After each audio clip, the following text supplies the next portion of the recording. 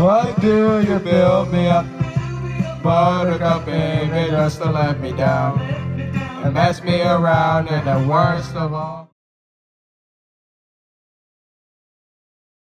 What is going on guys? We are back with another review of a day at an amusement park and today we are be we will be talking about a failed night at Summer Nights at Dorney Park. So let's just get right into this. So when we first got to Dorney Park we headed to Iron Menace and then we headed to Steel Force.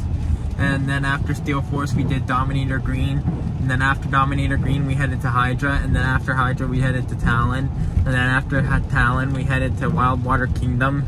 And then at, when we headed to Wildwater Kingdom we headed to Snake Pit first.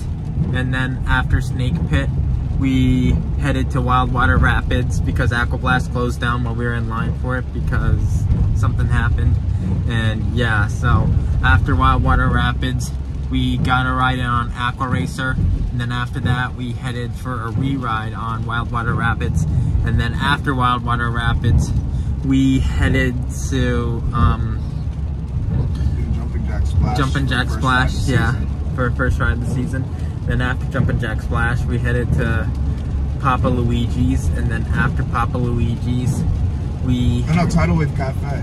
Oh, oh no, no, Tidal Wave Cafe is what I meant to say. And then after Tidal Wave Cafe, we headed to um, Thunder Canyon. Thunder Canyon. And then after Thunder Canyon, uh, we I think we headed for uh, ride on Kaleidoscope yeah, at that point. Yeah. And then after Kaleidoscope, we headed to Wave Swinger. Then after Wave Swinger, we headed to um, uh, a re-ride on Hydra. And then after that re-ride on Hydra, we headed to Demon Drop.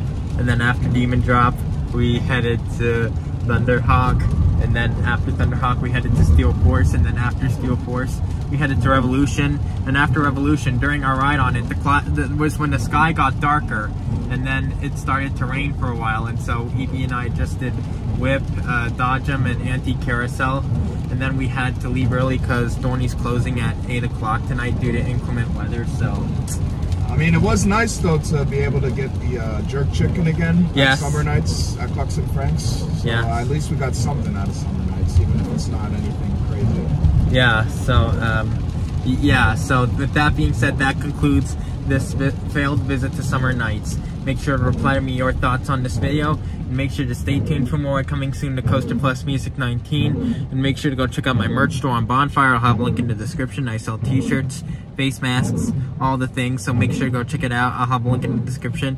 And make sure to subscribe if you are new and turn on post notifications so you will not miss when I upload a new video.